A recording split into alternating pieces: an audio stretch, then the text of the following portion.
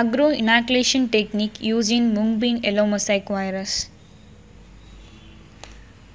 This is the green gram to be used in the experiment.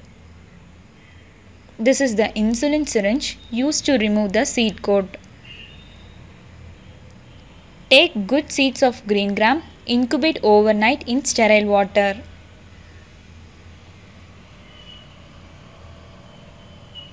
Using this insulin syringe, remove seed coats to get the hypocotyl region. The hypocotyl region is only exposed to the agrobacterium culture. Using this syringe, make holes in the hypocotyl region and put them in agrobacterium culture. So the bacteria enters the seed through the hole.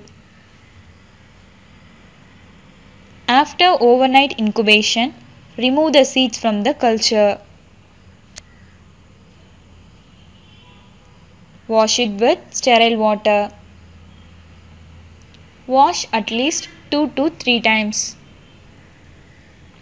This is done to remove the agrobacterium culture. Then the seeds are dried in tissue paper overnight to remove the excess water. This is the seed grown in the agrobacterium culture.